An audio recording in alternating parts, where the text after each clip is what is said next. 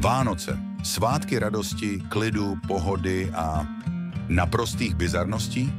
Jak se ukazuje v některých koutech světa a někdy i u nás doma, slavíme Vánoce takovým způsobem, že by se za něj možná styděl i Grinch. Pokud si myslíte, že náš kapr ve vaně nebo házení pantoflem je divné, připravte se. Svět má ve svém vánočním repertoáru opravdové perly.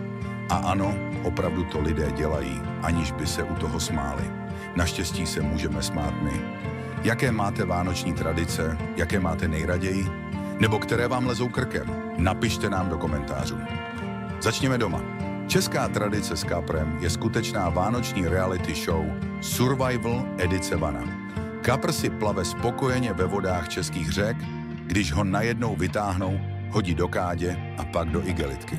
Následně si ho děti zamilují, pojmenují nejčastěji Pepík a dokonce mu přinesou pár kuliček hrášku. A pak bum! Pepík končí na kuchyňské lince, kde ho tatínek s rozpačitým výrazem usmrtí způsobem, který rozhodně není v příručce humánní zabíjení pro začátečníky. A co když kapra raději pustíte zpátky do rybníka? Gratulujeme, právě jste mu zajistili VIP lístek do příběhu Jak přežít Vánoce a skončit u sousedů na talíři. Ale teď se přesuneme do Katalánska, kde se tradiční vánoční betlémy zdobí postavičkou zvanou Kaganer. Ano, jde o malého chlápka, který si uprostřed betlémské stáje vykonává velkou potřebu. Důvod? Symbolizuje úrodnost a koloběh života, což je samozřejmě to, co všichni chceme vidět vedle Ježíška a tří králů. Ale pozor, to není vše. Děti v Katalánsku navíc milují Tio de Nadal, dřevěné polínko s obličejem, které krmí a poté ho mlátí klackem, aby vykakalo dárky.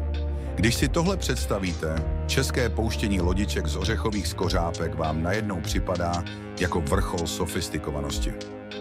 Pokud máte slabší žaludek, přeskočte tuto část videa. V Grónsku si na Vánoce pochutnávají na specialitě zvané kiviak. Představte si mrtvou alkouni, druh ptáka, kterou nacpete do tuleňové kůže, necháte ji několik měsíců fermentovat, neboli smrdět a rozkládat se a poté ji na Vánoce slavnostně rozkrojíte. A ne, to není scéna z nějakého postapokalyptického hororu, ale opravdová tradice. Obyvatelé Grónska na to přísahají. My ostatní se raději přísahou zavazujeme, že nikdy neskusíme nic, co se připravuje stejným způsobem jako biologická zbraň. Hold někdo pálí Františka, někdo nakrojí kiviak. Spíš by nás zajímalo, jestli si to dají s kečupem nebo tatarkou. Zatímco v Česku strašíme děti čertem, na Islandu mají něco mnohem děsivějšího. Obří vánoční kočku jménem Jola Turin. Tento chlupatý dravec nečeká pod stromkem smašlí na krku. Místo toho vás sežere, pokud nemáte na sobě nové oblečení.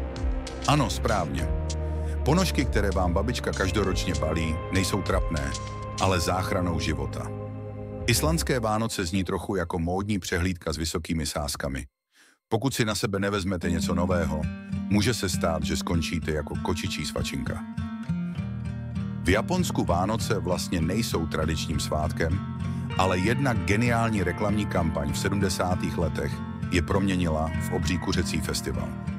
Na štědrý den se Japonci masově hrnou do KFC, kde si rezervují místo, ano, rezervaci do fast foodu, měsíce dopředu, aby si mohli pochutnat na kyblíku smaženého kuřete.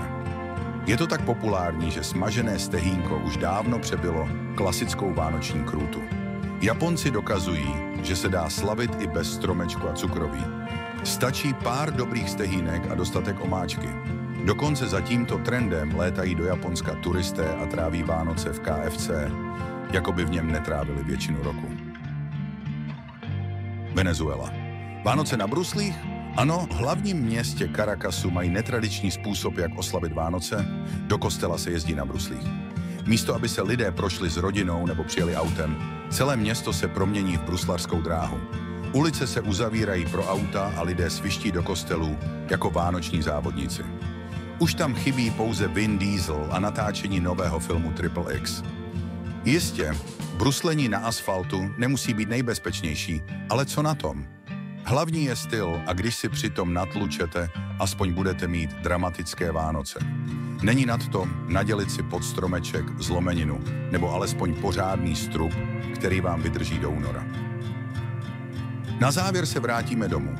Lití olova je tradice, při které zahřejete kus kovu, hodíte ho do vody a podle tvaru hádáte, co vás v příštím roce čeká. Bohužel většina tvarů vypadá jako neidentifikovatelná hrouda, což babičky s jistotou označují za znamení smrti. Ano, zatímco jinde ve světě lidé slaví, my se o Vánocích bojíme, jestli náhodou nezačneme nový rok na hřbitově. Po tomhle seznamu už kapr ve vaně, bramborový salát a cukrový nevyhlížejí tak špatně, že? Až letos budete s úsměvem koukat na svou rodinu, jak se snaží rozluštit tvar z olova, nebo jestli hodí pantoflem směrem ke dveřím, vzpomeňte si na Grónsko, Island nebo Katalánsko. Najednou vám ty naše tradice budou připadat neuvěřitelně normální. A hlavně, radujte se z toho, že vás na štědrý den nehoní obří kočka, kterou zajímají jen vaše ponožky. Děkujeme za sledování v tomto roce. Krásný Vánoce a šťastný nový rok vám přeje 3T a nezapomeňte nám dát odběr a like.